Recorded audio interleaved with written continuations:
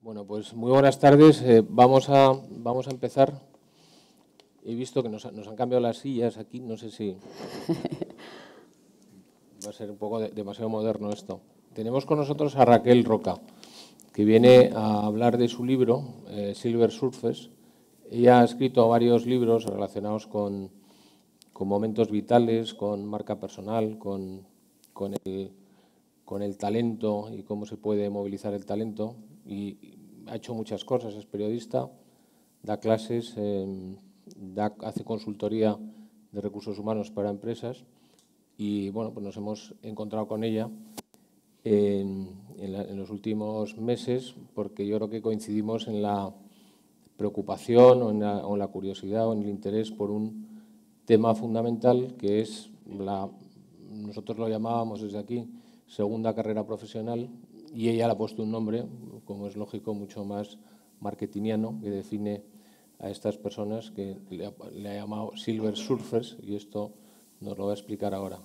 Bienvenida. Yo te quería hacer la, la pregunta que hago siempre, primera, a todos los que vienen aquí y han escrito un libro. ¿Por, ¿Por qué escribir este libro? ¿Por qué escribir eh, Silver Surfers? Muchas gracias. Lo primero, para mí es un placer estar aquí en, Avante. Formáis parte de, de, mi, de mi libro también y ahora lo, explicaremos. Y bueno, pues eh, también saludaros a todos y daros la bienvenida al encuentro. ¿Por qué este libro? Pues por necesidad vital, por un lado porque una se va haciendo silver con los años, lo que hay, y luego también porque es un tema, el de la demografía, que nos está cambiando la vida a todas las personas que estamos aquí, nos la va a seguir cambiando. Es un tema que llevo trabajando muchos años, desde que escribí el libro de Nomads, ya hablaba del tema de la demografía, y según he ido yo también haciéndome mayor, pues he ido experimentando a mi alrededor esas barreras invisibles asociadas a la edad y a lo laboral bueno, pues que me han hecho que, para mí fuera importante trabajar este tema. Muy bien. El, tema de, su edad es un tema relevante porque ya lo, pone en el libro. En el libro alude a que una de las búsquedas, eh, cuando tú pones en, Google eh, Raquel Roca, es Raquel, las sugeridas es Raquel Roca edad, con lo cual yo he surfeado también Google y, sé la edad que tiene. Pero, yo lo que relacionado con, con su edad, le decía antes, que ella es un poco visionaria porque no es eh, silver ni, ni, ni, tiene edad suficiente para, para pensar que está en, en este margen de, de, madurez eh, profesional o de, o de, tiempo donde ya el, el, sistema no te quiere. Pero yo la pregunta que te iba a hacer es, es esa, ¿no, ¿no has tirado un poco para abajo la edad de, de la gente que somos ya un poco mayores? Mm. Es verdad que el concepto silver eh, lo hemos marcado, lo he marcado a partir de los 40 años, 40, 50, 60. ¿Por qué 40? Que efectivamente con 40 años y con 50 y con 60 somos súper jóvenes con la nueva demografía. Pero ¿por qué 40? No es por, mm, por baladí, sino porque realmente los problemas que nos encontramos en las contrataciones, cuando empiezan a emerger las barreras de invisibilidad, cuando empezamos a dejar fuera a las personas porque consideramos que ya son viejas para trabajar y muchas veces cuando los propios profesionales y las personas nos consideramos que ya somos muy mayores, a veces para aprender cosas nuevas, está en esos 40 años. Es como una especie de corte psicológico que es muy temprano efectivamente, que pero por desgracia está en los 40. ¿no? Entonces de ahí que eh, encuentremos ya estos problemas a partir de personas con 40 que se agravan con 50 y por supuesto con 60. Con 70 ya es que no las encontramos directamente en el mundo laboral. Yo quería hablar un poco de, envejecimiento. Em, nosotros desde hace ya bastantes años nos parecía que era importante concienciar, hemos traído a nuestro auditorio a muchos geriatras y concienciar sobre la eh, posibilidad de, vidas muy largas, que es lo que ahora mismo nos da cualquier, cualquier estadística y cualquier eh, proyección demográfica.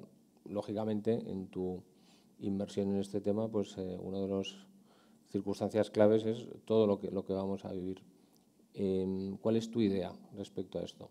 Bueno, eh, para mí la, mejor de las noticias ¿no? de todo esto es que tenemos vidas muy largas.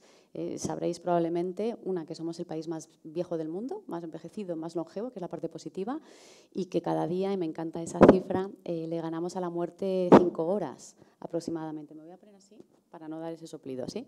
Cinco horas a la muerte cada día. Hoy, cuando terminemos la jornada, habremos conseguido robarle esas cinco horas a la muerte. Por lo tanto, al cabo de un año estamos ganando dos meses y medio de longevidad. Es una pasada. O otra cifra tan maravillosa como que nuestros niños españoles, los niños pequeños, nuestros hijos eh, o nuestros nietos, ya la mitad de ellos ya se saben que van a vivir vidas de 100 años. ¿no? Eh, el 50% de los chavales españoles van a tener vidas, vidas de 100. ¿no? Eso me parece que es maravilloso. Lo que tenemos que hacer es empezar a romper, eh, antes estábamos hablando con Belén, de camino para acá en el ascensor, empezar a romper esa creencia eh, o esa asociación directa de que lo que me marca mi DNI, de lo que marca mi cronología, mi edad de nacimiento, es exactamente lo mismo que como yo me encuentro vitalmente. Y no es cierto. Hemos esa sabiduría popular ¿no? que dice que los 40 son los nuevos 30, los 50 son los nuevos 40, que decimos por ahí, pues ya está demostrado que es así, que realmente hemos eh, recuperado biológicamente o retrasado eh, biológicamente la edad. Por lo tanto, una persona con 50 se siente biológicamente, incluso está biológicamente por dentro y por fuera, como una persona 10 años más joven. Entonces vamos a romper ya el establecer mi fecha cronológica de nacimiento como mi momento vital, porque no coinciden necesariamente. Bueno, eh, yo llevaba muchos, eh, mucho tiempo diciendo que los 50 son los 30. Tú, tú dices que solo para algunos sí. Que solo los 40, pero bueno, yo, yo sigo diciendo que son 20 años y no, y no 10, pero, pero bueno, en, todo caso somos más jóvenes porque tenemos muchos años, muchos más años por delante de lo que, de lo que esperábamos. Coincidimos en, en, en el interés también por un libro que se titula La vida de 100 años, que bueno, tú lo, lo has leído y lo citas en el libro y nosotros en su momento encontramos este libro cuando prácticamente no estaba distribuido en España y hemos colaborado en su traducción y luego ha sido un libro que ha tenido bastante éxito. Nosotros hemos dedicado pues eh, mucho tiempo y algunos eh, eventos y, bueno, pues hicimos una edición especial que, que, regalamos a nuestros clientes y que el que no lo tenga, que nos lo pida, que está a su disposición. En este libro, la, autora, que se llama Linda Gratton, hace una serie de, recomendaciones, yo creo que muy interesantes, que a lo mejor tendría sentido que, repasáramos un poco, pero, pero quizá el, elemento más importante, o uno de los elementos más importantes, es que nos preparemos para distintas transiciones biográficas y que en esas transiciones biográficas lo fundamental es eh, más que el conocimiento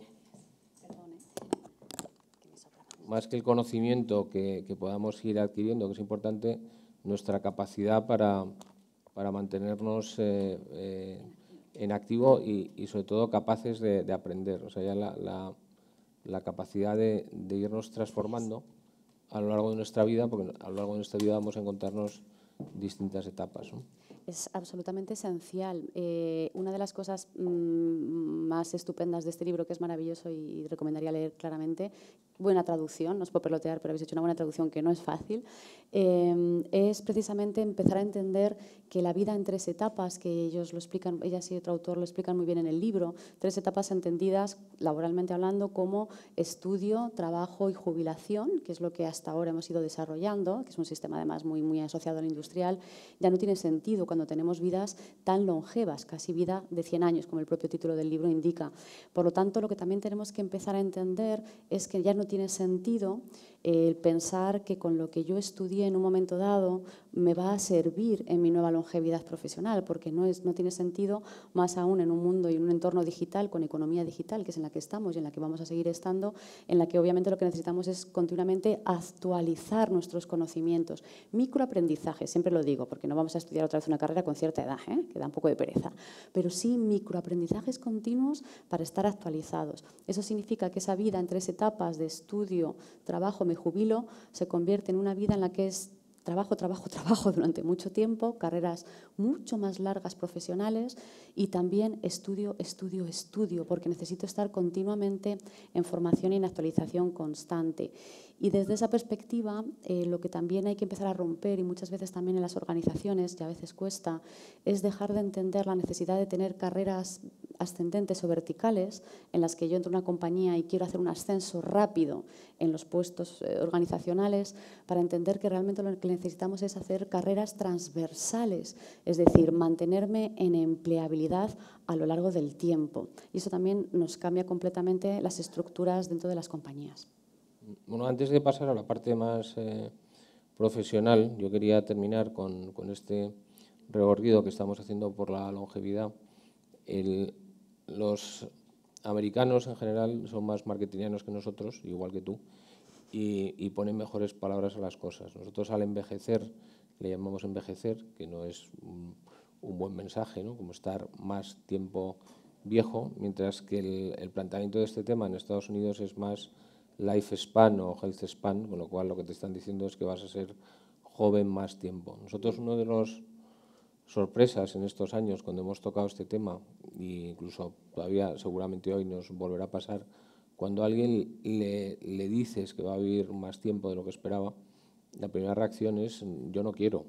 O sea, yo, em, a, ver, a ver qué va a pasar conmigo. La realidad es que luego no es así, ¿no? Dicen que los que quiénes son aquellos que quieren vivir 90 años, pues todos los que tienen 89 quieren vivir, quieren vivir 90, ¿no? O sea, que, que es una reacción que se produce, no sé muy bien por qué, pero que luego no es, no es real. O sea, sigues eh, encontrando problemas, tú hablas con mucha gente mm. de estos temas que te dice, si es que yo no quiero vivir tanto.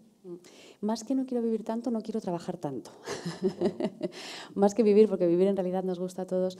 Y creo que todavía, por desgracia, seguimos asociando ciertos tópicos que luego no se cumplen en la realidad cuando los llevamos a cifras eh, que tienen que ver con el asociar, que debiera ser así, pero no es así, la palabra jubilación a júbilo, ¿vale? que de ahí es de donde nace y es como debiera de ser.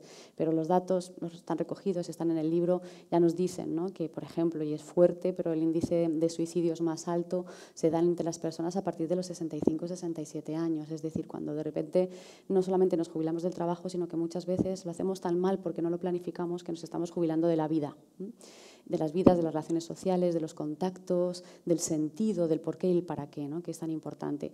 Por lo tanto, lo que sí que me encuentro, y esto lo llevo hablando muchos años, las reacciones son más o menos parecidas y yo doy una cifra que también voy a compartir ¿vale? para que nos despertemos esas, eh, esa realidad demográfica y laboral que tenemos por delante, ahora la voy a decir. Eh, al final es más una sensación de que no estamos preparados mentalmente para trabajar durante más tiempo del que han trabajado nuestros padres o nuestros abuelos. ¿no? Y tenemos nosotros mismos unos esquemas mentales en los que nos ponemos unos cortes eh, psicológicos de edad en el que ya y, las empresas y el Estado y el sistema tampoco ayuda, eh, pues a lo que ya nos dejamos fuera o, nos echan, ¿no? y ahí está el problema. Pensemos una cosa que es importante, el sistema de pensiones, por ejemplo, que en España ha sido muy fuerte y hemos estado dependiendo mucho de él, creo que cumple ahora un siglo. ¿eh? justo este año, es de 1909, una cosa así. Es decir, y no lo, hemos, no lo hemos reactivado desde entonces. ¿Y cuántas personas creéis que sobrevivían mayores de 65 años hace un siglo? Una de cada, 90, una de cada 100. ¿sí? Hoy en día, todas. todas, ¿sí? Por lo tanto, eh, tenemos que empezar a pensar que si tengo vidas mucho más largas y son mucho más largas, España liderando esa nueva longevidad en todo el mundo, y los sistemas de pensiones, que luego si quieres lo tratamos un poquito más, no nos van a sostener porque no es real. Pero sobre todo otra cosa, si yo me jubilo con 65 y 67 años, o me jubilan o me prejubilan antes, y tengo una longevidad hasta cerca, prácticamente casi todos, de los 85, 90 años, ¿cuánto tiempo de inactividad estoy o tengo por delante?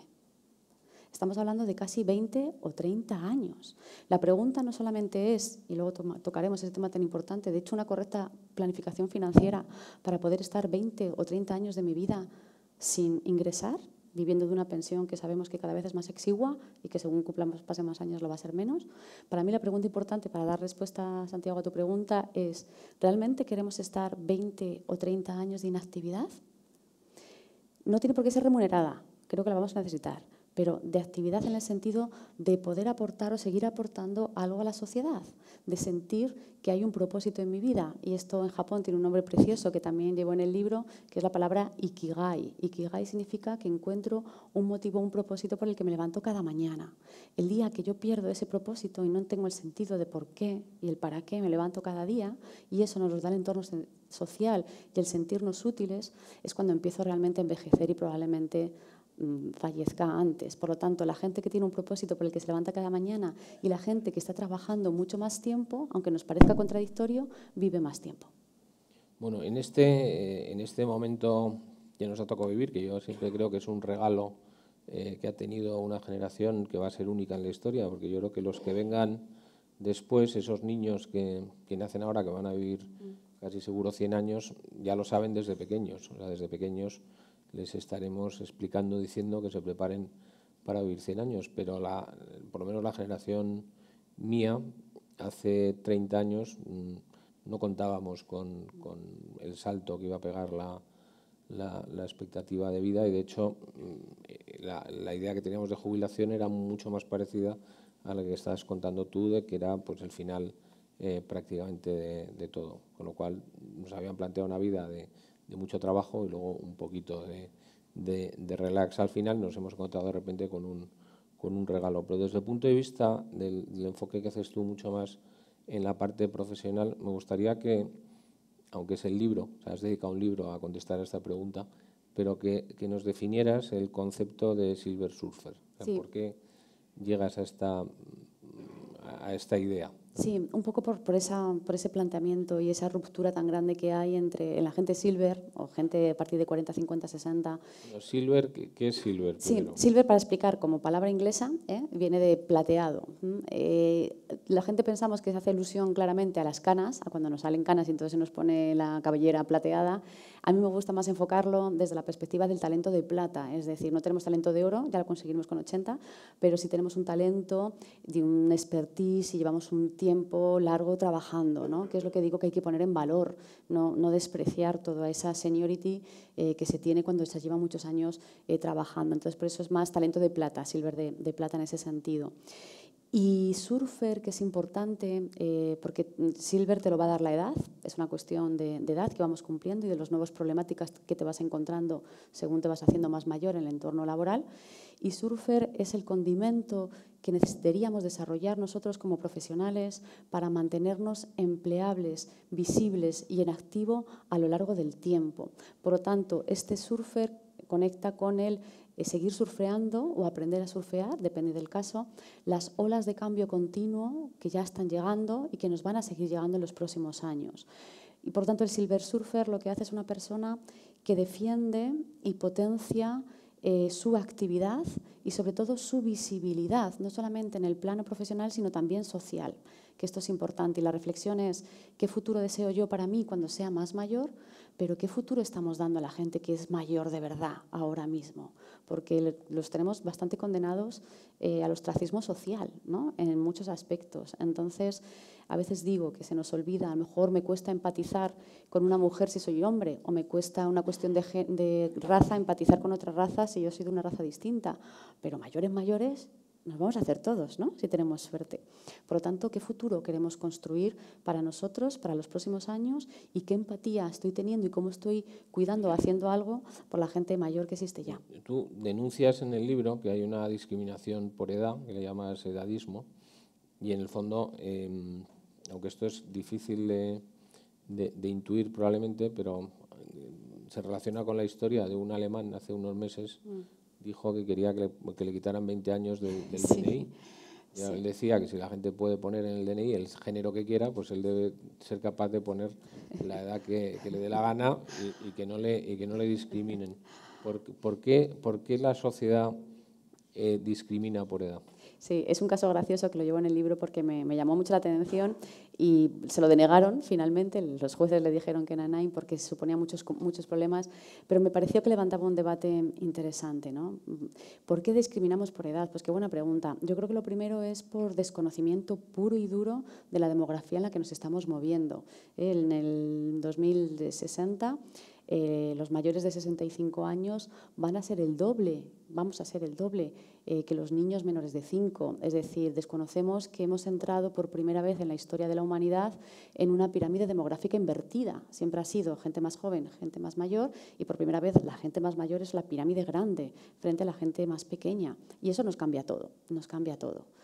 Y yo creo que aparte del desconocimiento, eh, yo creo que también tiene algo que ver con dos cosas, dos eh, términos muy importantes que necesita hoy en día toda empresa y todo profesional para ser más competitivo, como son las palabras innovación o agilidad. Eh, cuando, asociamos, cuando pensamos en innovación o agilidad, lo asociamos a su vez como si fuese una palabra consecutiva de juventud. Y entonces hemos centrado las energías y las fuerzas en contrataciones o natación de talento a la gente más joven, ¿no? Y hemos puesto un foco muy llamativo en las personas más jóvenes, eh, dejando absolutamente de lado a las personas más senior, ¿no? Más silver, eh, pensando que no pueden capacidad de innovar o de ser más ágiles, ¿no? De digitalizarse, lo cual es totalmente edadismo desde la perspectiva de hacer eh, una discriminación por cuestión de edad, prejuicios, básicamente, que asociamos a la gente más silver. Tú, de hecho, relacionas en el libro una serie de, de discriminaciones que son prejuicios como que a la gente silver o más mayor pues le cuesta más adaptarse, tiene menos energía. los jóvenes no les quieren, esta es curiosa, ¿no? Sí, que no es verdad, que no es verdad, pero... Les falta motivación o que son menos productivos, ¿no? Todo eso, eh, me imagino que, habrá de todo. Tú, tú tienes otro libro sobre otro concepto que yo creo que está ligado a esto, o sea, en el fondo el Silver Surfer es un nomad que se ha hecho un poco más mayor, ¿no? ¿Es así mm, o no? Es una evolución con problemáticas nuevas que el nomad de cualquier edad no tiene. Explícanos lo que es el, el nomad. Sí, es el, libro anterior y es verdad que es una evolución. Nomad es un neologismo que mezcla las palabras no de nómada, no de conocimiento, perdón, y más de nómada, nómadas del conocimiento.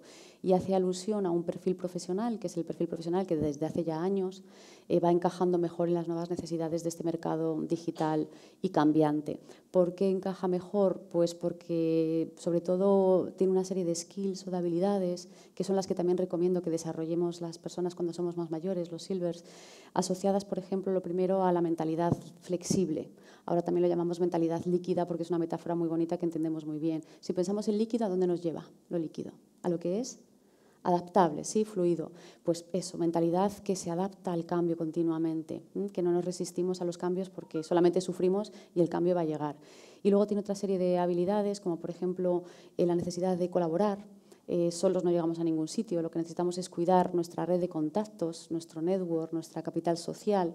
También, por ejemplo, se preocupa por trabajar su creatividad, que es una competencia que hasta desde ayer no necesitábamos y hoy es absolutamente vital si queremos además eh, innovar. Y una serie de características que hacen que esté mejor preparado para, para el mercado de trabajo.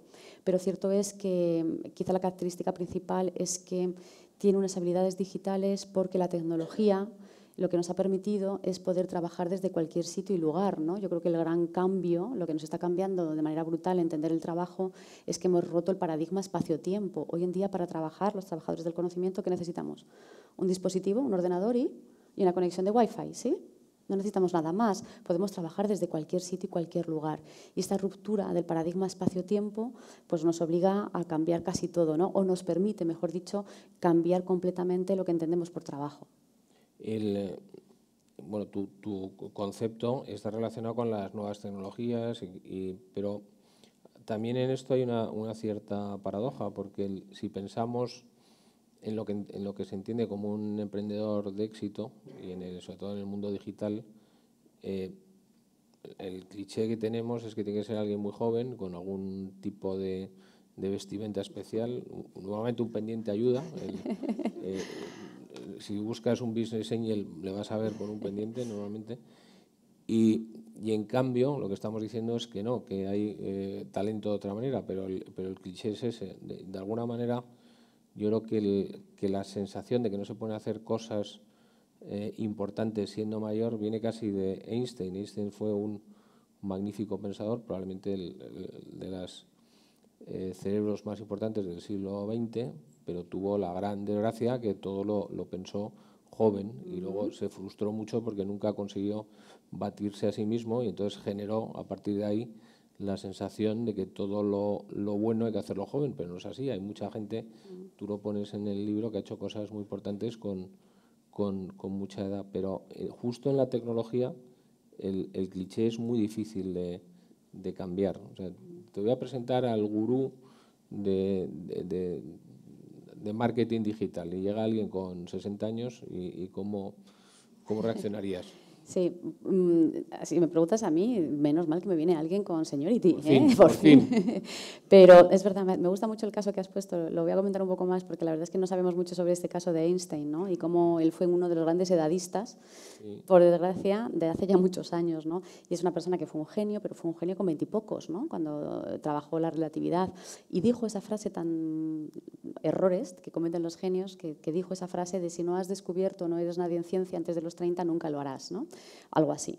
Y bueno, efectivamente fue un gran error. ¿no? Yo eh, cuando trabajo exposiciones pongo este caso de ejemplo ¿no? y tenemos muy cerquita nuestra Margarita Salas, ¿no? por ejemplo, que acaba de ser premiada en el 2019 a premio como investigadora con ochenta y tantos años que, tiene. ¿no? Y tantísimos otros casos, ¿no? tantísimos casos. O Hitchcock, no sé si habéis visto eh, su película de biografía, pero Hitchcock, por ejemplo, su boom cinematográfico fue cuando él tenía 60 años aproximadamente, ¿sí? cuanto más produjo. ¿no? Y sin embargo ya le preguntaban, ¿y usted ya que tiene 60 años, por qué no se retira? ¿no? En fin, o sea que llevamos, llevamos con lo mismo muchísimos años, ¿no? Y no hemos, entendido, no hemos entendido nada.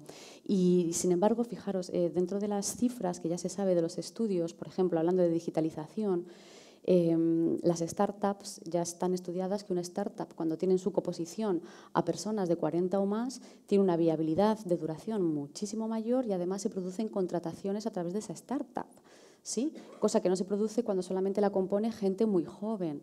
Es decir, yo mm, no digo, nunca diré que vale más el talento de un silver que el de un junior. Yo lo que digo siempre es que realmente en la mezcla de talentos y en la mezcla intergeneracional es donde nos vamos a encontrar el verdadero éxito de cualquiera, en empresa o de startups. Es en la mezcla intergeneracional, mm, para mí. Por lo tanto, yo soy una gente mayor, les diría que bien.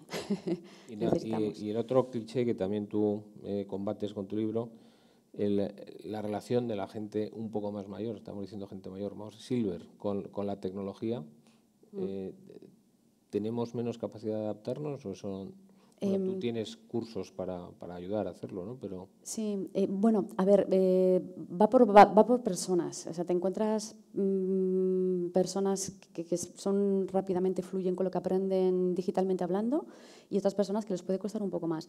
No, no es por la edad, es porque llevamos mucho tiempo haciendo las maneras de una cosa diferente no es por la mentalidad. Cognitivamente hablando, estamos preparados para aprender hasta bien entrados los 90. ¿sí? Esto hace poquito que se ponía en duda y ahora ya se sabe que el cerebro es plástico, que las conexiones neuronales se siguen fabricando y siguen pasando, da igual la edad que tengamos, prácticamente hasta muy poquito antes de fallecer.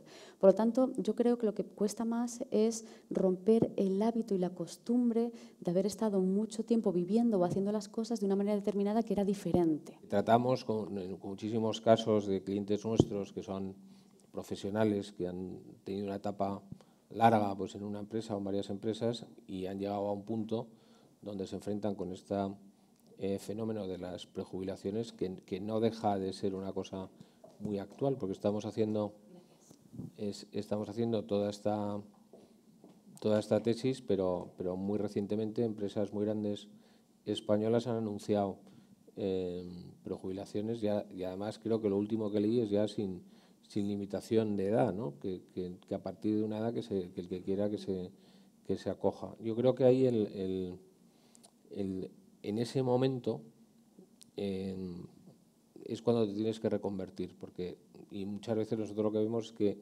te llega con, con muy pocos meses. de repente estás trabajando tranquilamente y un día tienes la sensación que, que, te va a durar poco, o de repente hay casos mucho más dramáticos que, que te lo dicen y no, y no contabas con ellos. Entonces ahí hace falta, se requiere una transformación, porque ya tu, tu propia profesión hasta ese momento no, no, va a seguir y es muy difícil en determinados puestos el, el, que el sistema te vuelva a admitir, porque bueno, pues se da esta discriminación por edad para un director de algo, de una empresa grande, pues, pues buscan una persona joven respecto a una persona con, con más años ahí hay que hacer la, transformación. Tú lo, tocas en el libro.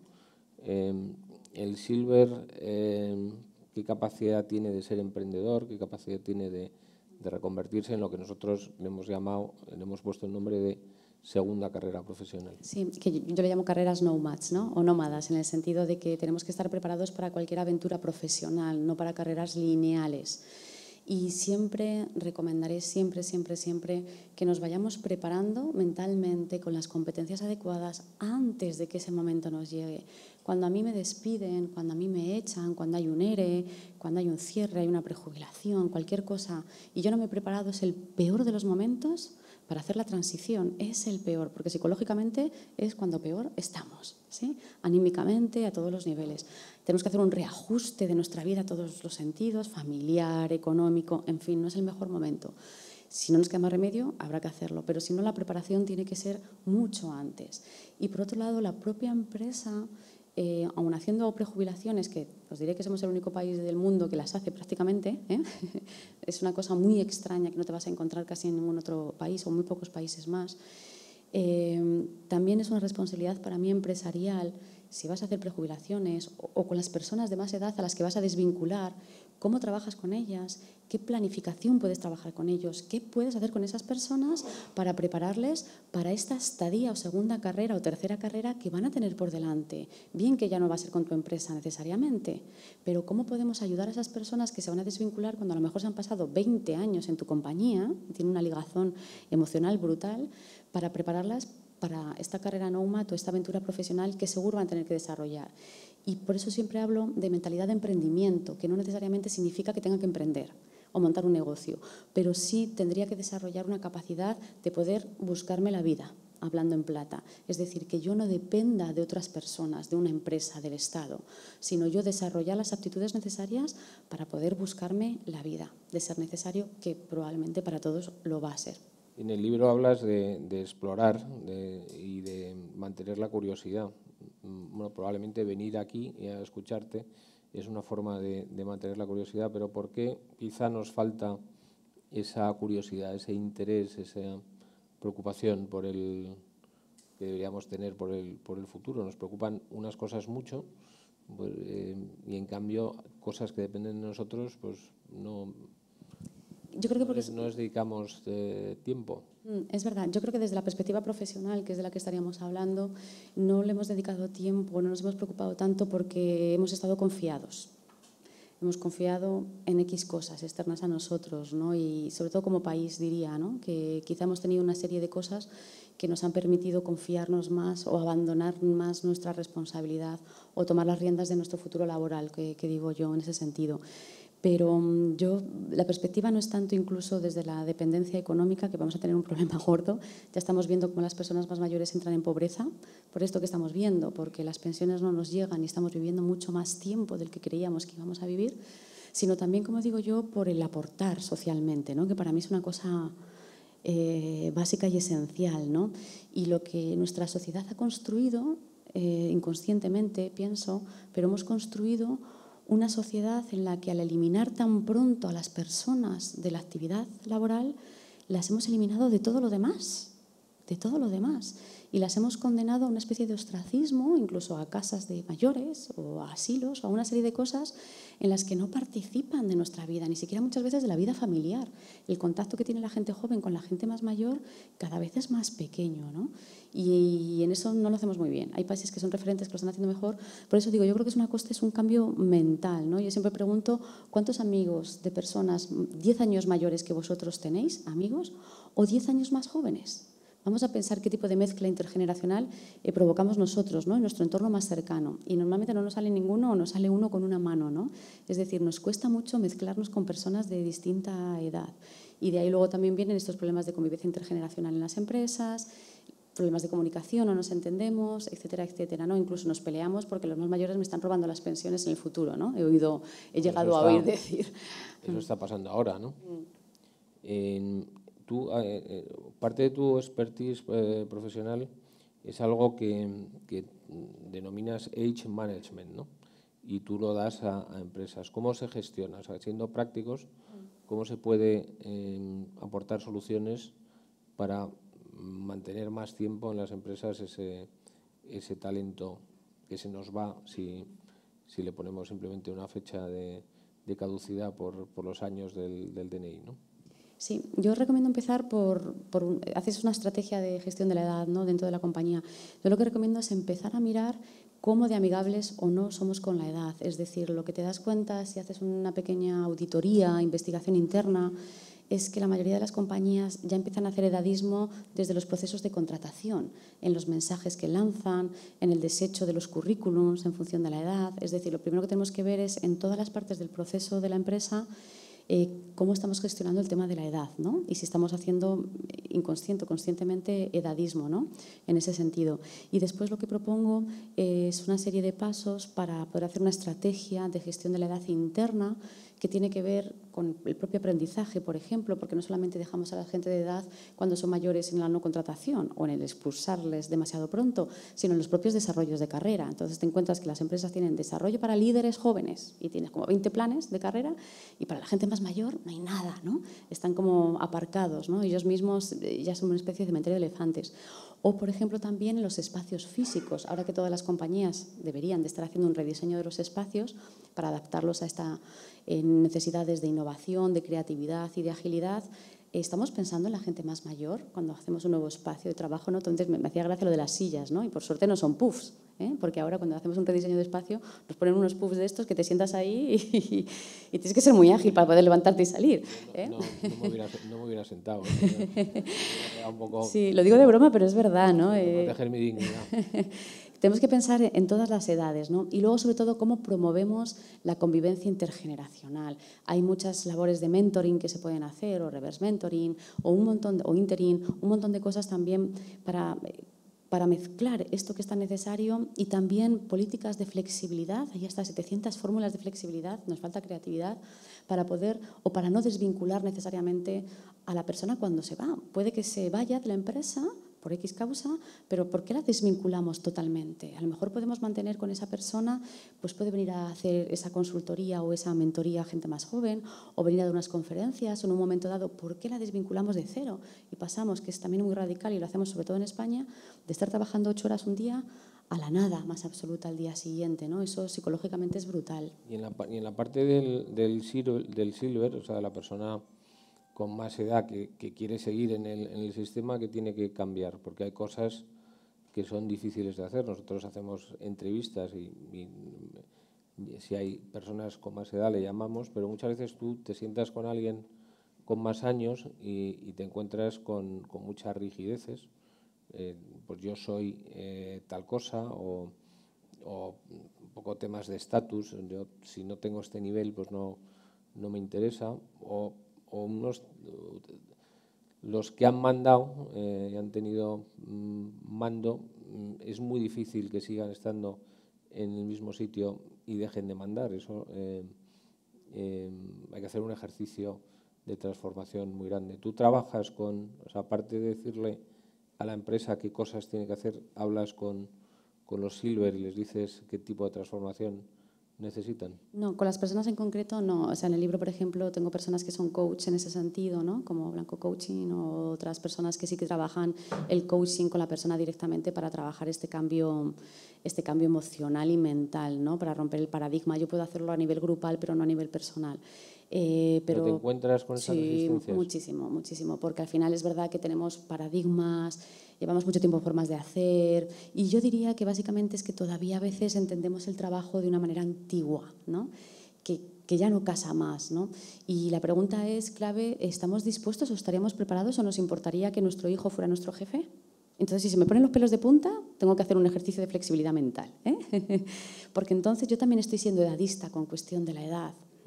El talento no necesariamente, como digo, va asociado a los años, por mucho que aportemos unas cosas. Es decir, puedes tener un excelente líder más joven que tú, no pasa nada.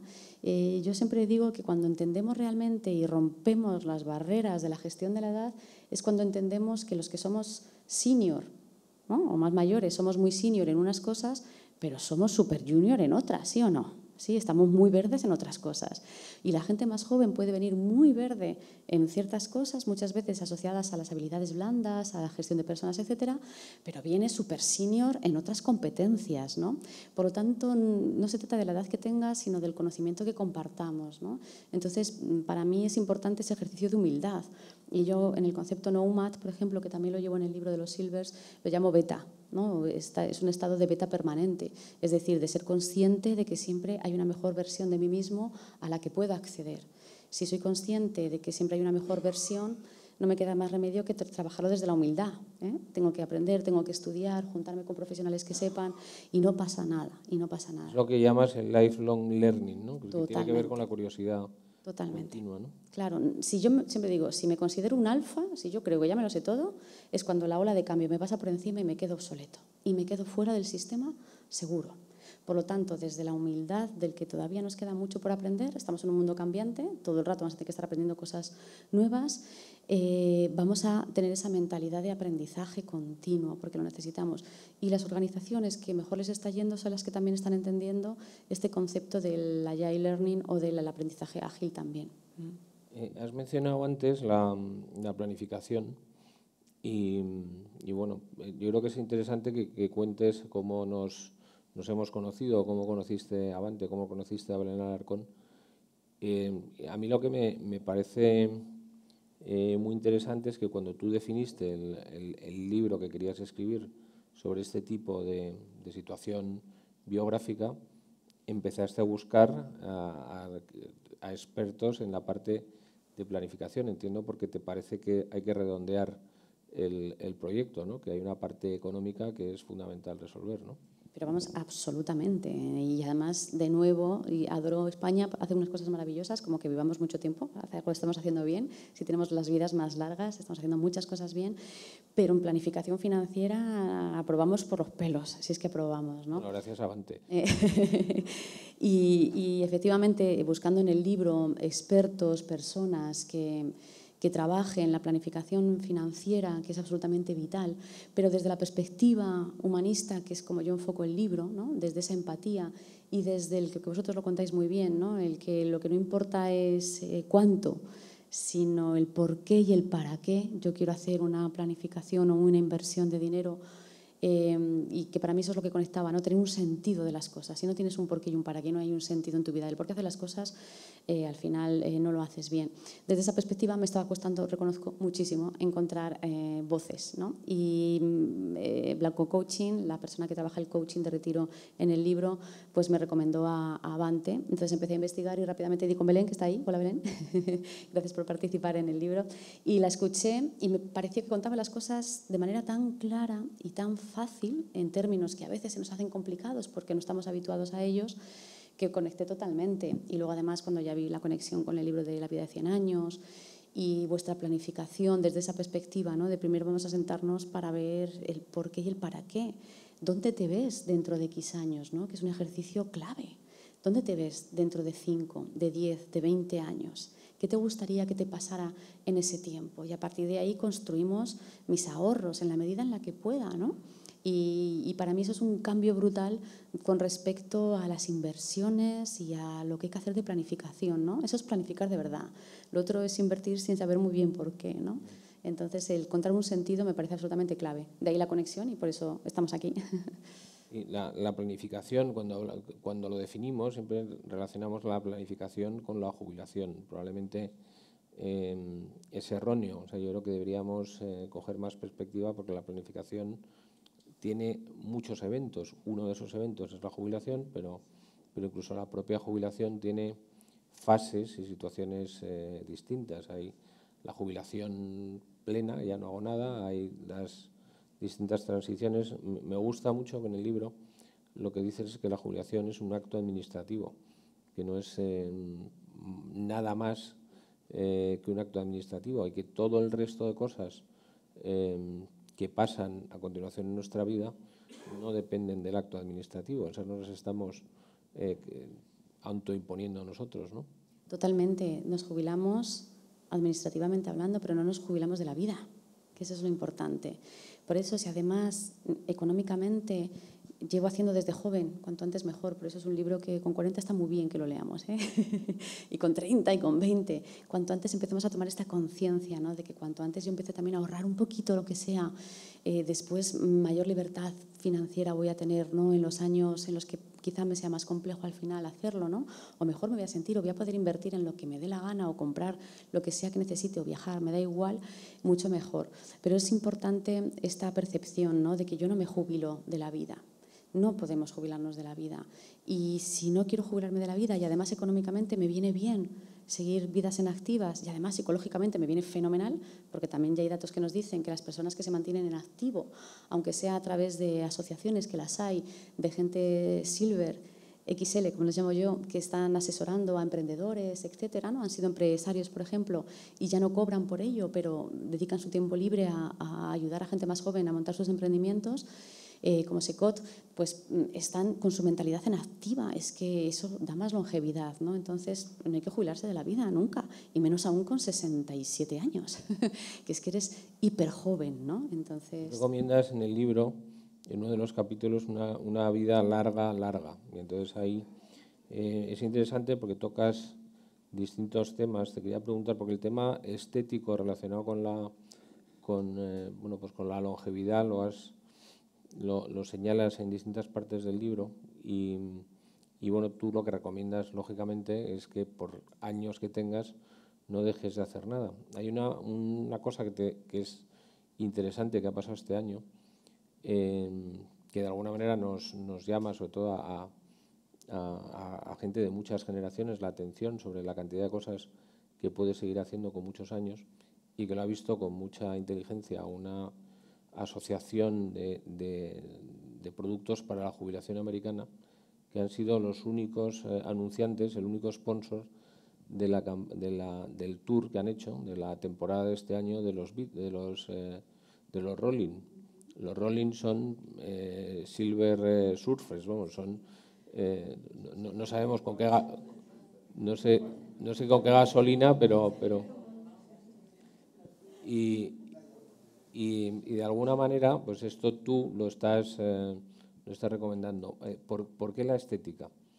Eh, mm, porque... o sea, te lo pregunto como te lo preguntas tú en el libro. ¿Tratar de parecer joven no parece el movimiento contrario a, eh, a, asumir la condición? Es que yo creo que tienes que hacer lo que te dé la gana. Esa es mi frase. O sea, si quieres parecer más joven, haz lo que sea para parecer más joven. Si te sientes bien reivindicando tus canas, aunque las tengas muy joven, me parece fenomenal. Ahora sabéis que hay una oleada a favor de, de mostrar las canas, ¿no? Eh, con, em, con distintas empresas y demás. Me parece fenomenal. O sea, tienes que hacer lo que tú quieras sin que tú sientas coartada tu sensación de libertad, ni yo cuarte la tuya. Eso para mí es esencial. Y es verdad, y lo comento varias veces, porque es verdad que a veces cuando mm, se despiertan ciertos movimientos edadistas, con respecto a la edad y a la reivindicación de la vejez y demás, parece que si te tiñeras el pelo ya no tienes derecho, ¿no? no, no estamos hablando de esto. A mí lo que me importa es que hagamos las cosas que nos apetezcan hacer en función de mi momento vital, no cronológico. la apariencia que tú tengas por fuera que sea la que te dé la mismísima gana en ese sentido. Por lo tanto, yo defiendo mucho esto. Ahora, tenemos que romper nosotros muchos prejuicios que todavía tenemos con la gente mayor, porque nosotros somos jóvenes, pero con la gente más mayor, por ejemplo, y ahí lo llevo ¿no? y lo toco, el tema del sexo, por ejemplo, sexo y personas mayores. ¡Wow! ¿No? Es un tema tabú todavía, ¿no? Por lo tanto, ¿cuántos prejuicios aún tenemos en la cabeza nosotros mismos, todo lo que estamos aquí, que deberíamos de empezar a romper y a cambiar? No, no solamente es el laboral, es en todos los aspectos, ¿no? en todos los sentidos. Y físicamente, por supuesto, ¿no? por ahí también pongo a Madonna de paradigma porque ya se ha encontrado con muchos problemas, ¿no? porque ya le decían, usted es una señora mayor, ¿no? como para ser erótica ¿no? en ese sentido. ¿no? Y Madonna ha defendido siempre que el erotismo no es una cuestión de edad, que lo, te apetece hacerlo, lo haces o no, no.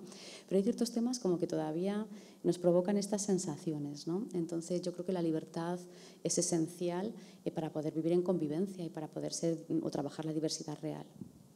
En, e, el último capítulo eh, ya haces quizá un poco de, de, un pinito de, de especulativo, ¿no? que es donde nos está diciendo ahora mismo la, ciencia, donde nos están diciendo los principales investigadores en, temas de, alargamiento de la, de la, vida, pues los Google y Kurzweil.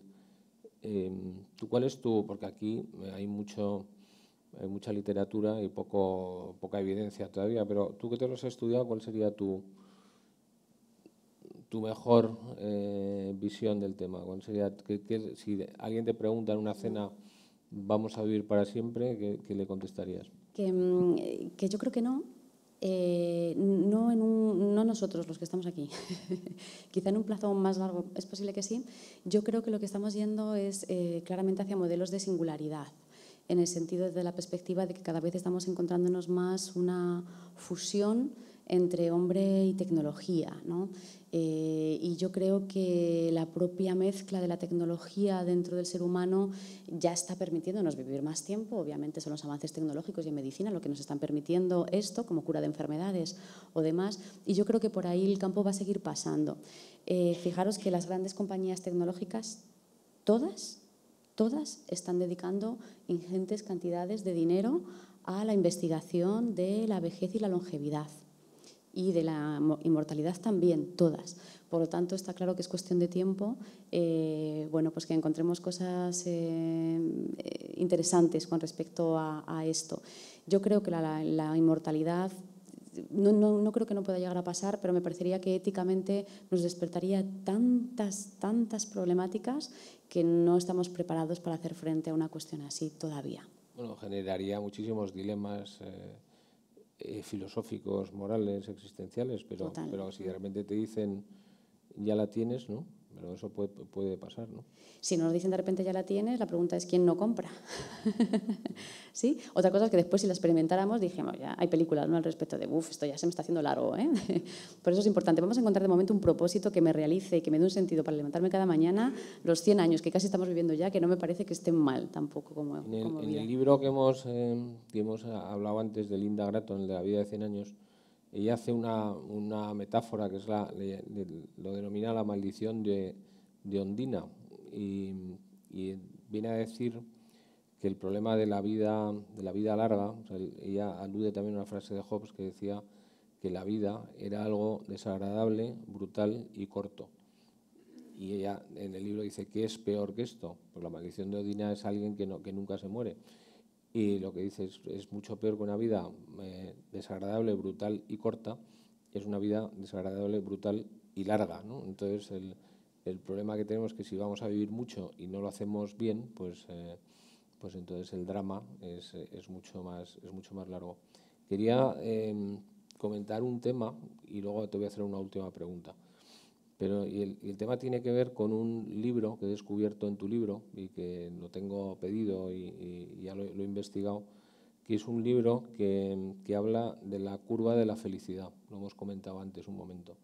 Escrito por un autor americano y lo que, y lo que viene a decir es que lo, lo mejor, o sea, que la, la felicidad en, las, eh, en nuestras vidas es como, una, es como una U, de niños jóvenes somos más felices, hacemos un valle en algún momento, que él dice en, los 40 años y que a partir de los 50, que esto me parece estupendo, yo he cumplido 55 este año, ya estaba notando un proceso de, mayor felicidad desde hace tiempo, que a partir de los 50 ya entramos en una fase que, mejoramos muchísimo. Y hay una explicación bastante, em, bueno, que se lo ha trabajado por, por, debajo y que tiene que ver con expectativas, tiene que ver con... Em, esto me lleva a mí a pensar que, tú que eres jovencísima, que no tienes, estás ahí prácticamente en los 40, eh, en, este libro mm, has sido una visionaria, pero lo has escrito un poco pronto en tu, dentro de tu, de tu biografía, ¿no? Eh, bueno, ojalá que sí, que nunca se sabe, pero ojalá que, sí.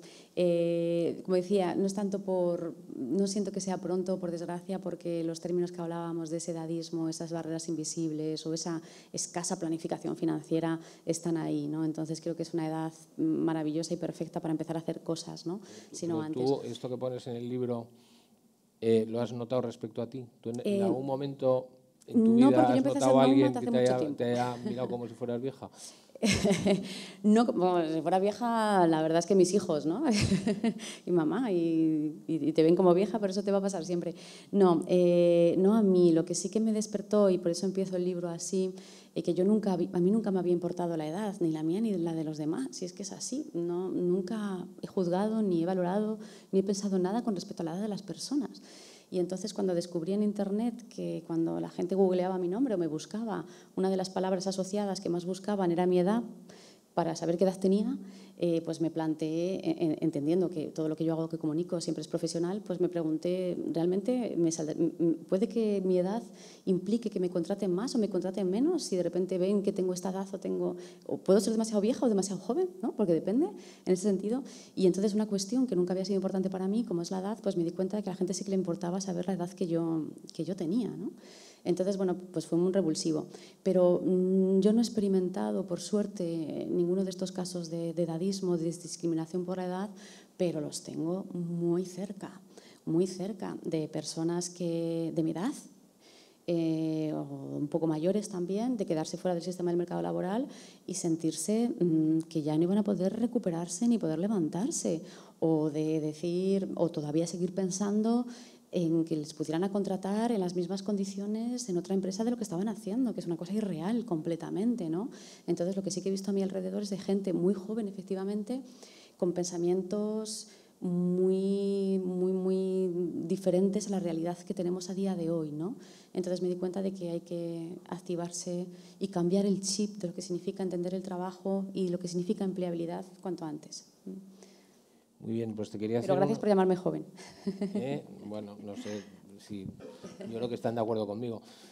Eh, una última pregunta te quería hacer y lo que me gustaría es que nos dieras un consejo a todos em, con toda tu experiencia, entendiendo pues más o menos la retrato robot de la persona que está aquí. Me pongo yo como ejemplo, 55 años, me he entendido que hay una probabilidad de vivir mucho tiempo, la carrera profesional entiendo que debe ser larga porque estar nosotros hace 18 años, 20 años, cuando la gente se prejubilaba, normalmente en los planes que nos ponían, pues eh, es muy curioso porque esto ha cambiado mucho. Pues muchos nos decían que se iba a dedicar a jugar al golf. Era muy raro en ese momento que hubiera un componente eh, de, profesional o de, dedicación laboral en, en la gente que venía a vernos.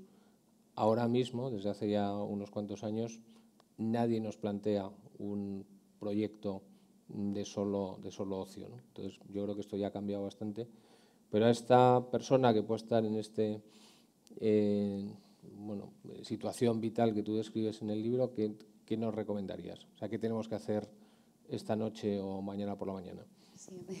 Yo diría que lo primero que recomendaría es tomar conciencia de que esto no es una moda ni es baladí, sino que es real. Os voy a dar esas cifras que os prometí que os iba a dar antes, que sé que molestan, pero las comparto porque son importantes, que tienen que ver con, teniendo en cuenta nuestra demografía actual, el tiempo de trabajo que nos queda por delante a las personas en función de las edades. Por lo tanto, cifras. Las personas que ahora mismo en la sala tengáis entre 40 y 50 años, ¿vale? Nos quedaría por delante el 67% de nuestra vida laboral. ¿Sí? 67% es más tiempo de trabajo por delante del que ya hemos trabajado, para que tengamos conciencia. Es una media, pero es importante. Las personas que tengáis 50 o 60 nos quedaría, os quedaría por delante el 50% de vuestra vida laboral. Y así iríamos subiendo. Si hay alguien más joven en la sala, que eche sus propios cálculos, porque le queda muchísimo. ¿sí? Esto lo primero, tomar conciencia de que nuestras vidas profesionales van a ser más largas, al igual que nuestras vidas físicas. Por lo tanto, a partir de ahí, ¿en qué momento me encuentro yo profesionalmente? A partir de ahí, ¿qué me gustaría que me pasara en los próximos años? ¿Estoy haciendo una correcta planificación de mi nueva longevidad, que no de vejez, sino de mi nueva longevidad? ¿Qué competencias necesito para mejorar mi empleabilidad? ¿Tengo competencias y capacidades suficientes para buscarme la vida? ¿Alternativas distintas a las que quizá esté desarrollando ahora? Esas son las preguntas que yo haría. Simplemente hoy reflexionar y a partir de ahí empezar a tirar del hilo y leerse Silvers, por supuesto, y Linda Grayton también. Bueno, yo, yo creo que es un tema mm, fundamental que a nosotros nos interesa muchísimo. Te agradecemos mucho que hayas estado aquí con nosotros y me gustaría despedirte con un fuertísimo aplauso. gracias.